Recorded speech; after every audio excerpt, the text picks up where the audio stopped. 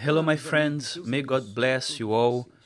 May the Holy Spirit, the Spirit of God, the Spirit of the Lord Jesus Christ, enlighten your understanding because it's not enough for us to know the Word of God. We have to have the Holy Spirit because He gives us understanding of the Word. And that's why when Jesus, when the Holy Spirit came upon Jesus, He gave him, Jesus, the Spirit of knowledge and the Spirit of understanding. Because if you know the Word but you don't understand it, then it won't resolve anything. It will not add anything to your life. So may the Holy Spirit give you the spirit of understanding as well. Besides the spirit of the Lord, the spirit of wisdom, the spirit of counsel, the spirit of understanding, of might, the spirit of knowledge, and the spirit of understanding, so that you may be complete. Complete. Perhaps by hearing these, you say, Amen, Amen, Amen. However, I don't want you to just agree with me. I want you to drink it, to receive it. Because if you say amen but you don't receive it, then it's frustrating, isn't it? Anyway, you who are suffering right now, you who are groaning, groaning, see the word which God has for you right now, for you and for everybody else that is attentive, that has ears to hear His voice. Pay attention. He says like this Behold, I have refined you. I have refined you, but not as silver. Not as silver. When silver is purified, is to put it on display, to be shown off.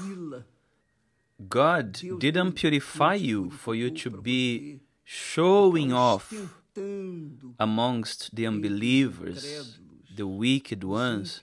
What God has done, God purified you, He cleansed you so that you could exude His fragrance. It was for you to reflect His image wherever you go. But then you say, Bishop, did God purify me? So how am I here groaning? I'm so desperate. How come? Let me explain that to you. He says like this. He concludes this text saying like this I have tested you in the furnace of affliction. God chose you in the furnace of affliction, as He's done with me. He chose me in the furnace of my affliction. I didn't know that at the time. I had no knowledge of that. But when I found it out, then I gave my life to Him, and He took me out of the furnace. I agreed with Him. I didn't just say Amen, I gave myself to that promise. And that's what the Lord Jesus does to you right now. If you are in the furnace of affliction, of despair, of anguish, of torment, of depression, of anxiety, of fear, of the terror that lays waste by night, the destruction that lays waste by day. You are terrorized, afraid of everything and everyone, anxious, worried, preoccupied. You don't know what to do anymore. You are right in the midst of the furnace. Know, therefore, dear friend, that God chooses His chosen ones in the furnace. Do you know why?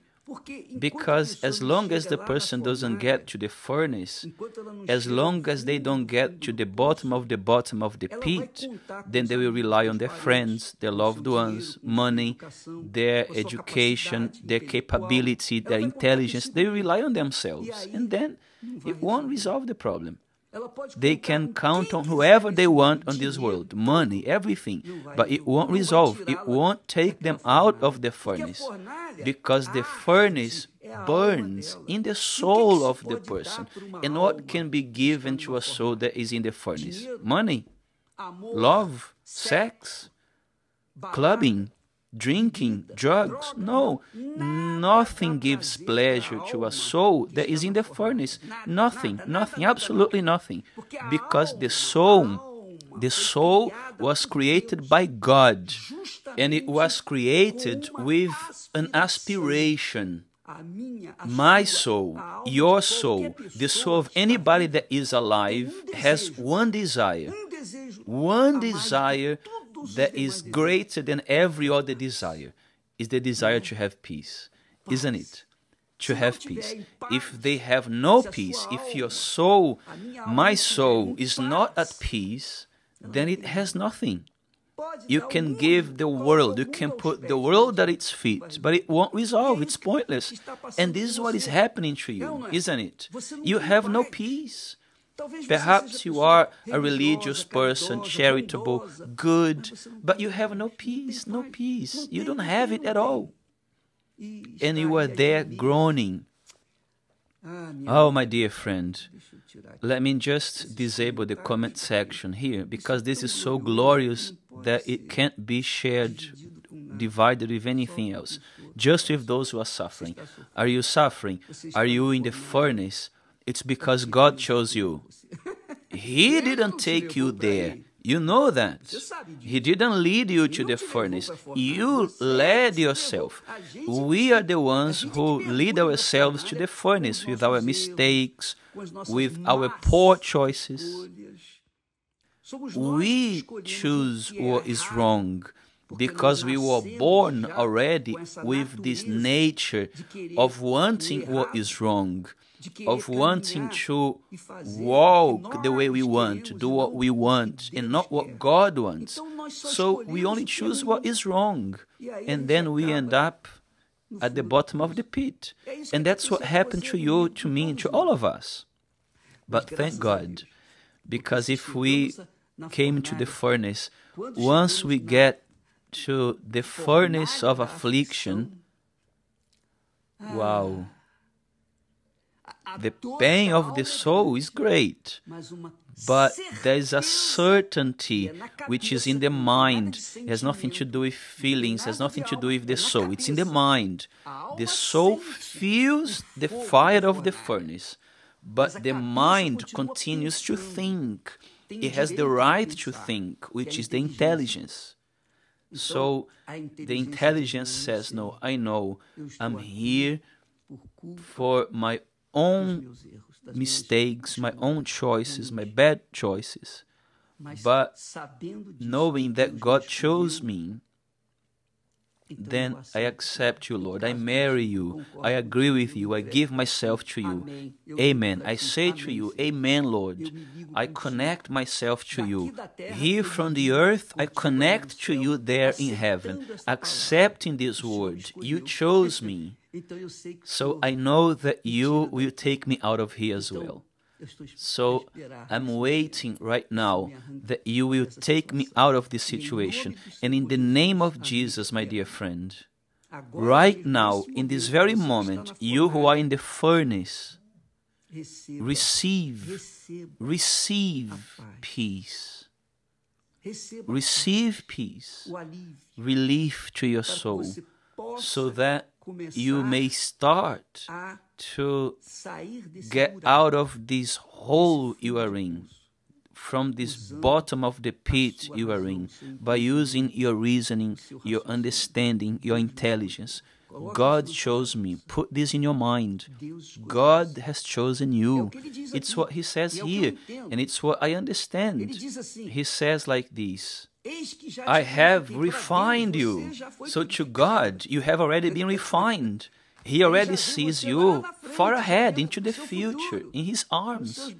And that's why He says, I have tested you in the furnace of affliction. How wonderful is that, my friend? He has chosen you. It doesn't matter.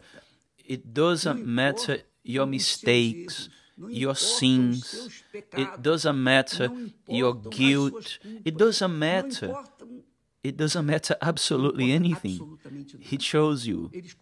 And this is more than enough. Do you accept that? So, this becomes or is materialized in your life. This happens right now because you accept. Yes, I accept. I accept. I accept your hand because nobody else can help me. Nobody else up until today could help me. So I accept your powerful hand. I accept your forgiveness. I accept your mercy. I accept your love, your infinite love that is not a love that seeks its own interest. It's a pure love. It's a true love, sincere. I accept it, I accept it, I accept it.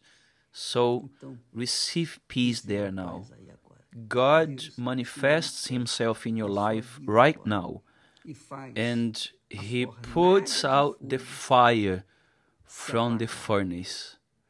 And you start from now on, from this very moment, to walk away step by step, to climb out of this hole day after day after day, step by step. Because as I said here the other day, God is not a magician. God is not a God of good luck. God is not a God of a set destiny. No, He chooses all those, everyone, everyone. He chooses everyone, which is many. But not everyone accepts God's choices. And they carry on relying on their own strength. And when this happens, many are called, but few are truly chosen. But you are chosen. May God bless you. May God bless you indeed. In the name of the Lord Jesus Christ. May the Lord shine his face upon you. May the Lord be merciful to you. May the Lord give you peace in the name of the Lord Jesus Christ. And we agree here, you and I. Amen. Thank God. May God bless you, and I'll see you tomorrow in the name of Jesus. Thank God.